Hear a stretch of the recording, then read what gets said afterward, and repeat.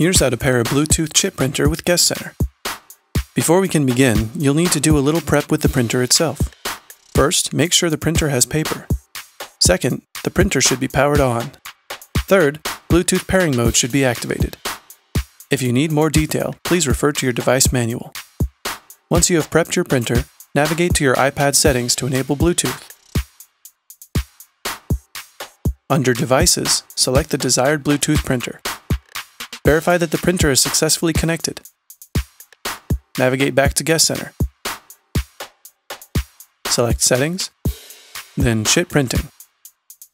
Select your newly connected printer to use it with Guest Center.